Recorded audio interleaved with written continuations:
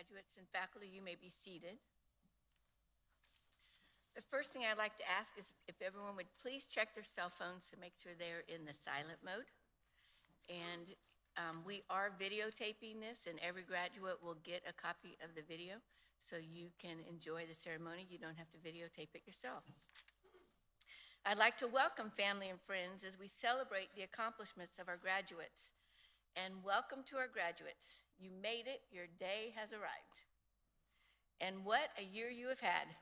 You have proven yourselves to be quite flexible, a quite flexible group, able to go with the flow. The constant in and out of school this year, quarantining, and today, can we put that word to bed and ban it from ever being uttered again? You've learned to be flexible with your mission trip. We're going, we're not going. Where are we going? You know learning to be flexible is a life skill, and you have all mastered it. Through the whole ordeal this last year, you've learned to embrace change and learned how to adapt. You learned how treasured family is and that you need them more than anyone during difficult times. You've learned how important friends and others are. God created us to interact and be part of each other's lives. We don't thrive and grow when we are socially isolated.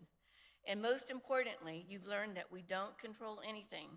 We have to place our trust in the one who does.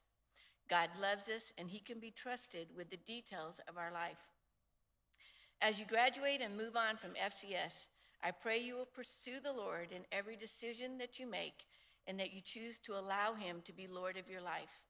I pray every lesson you've learned, every Bible verse you've memorized, and every example that has been set for you will go with you as you begin to manage your own lives out from under the protective covering of your homes and school. All of us love you and pray the Lord's blessing on you.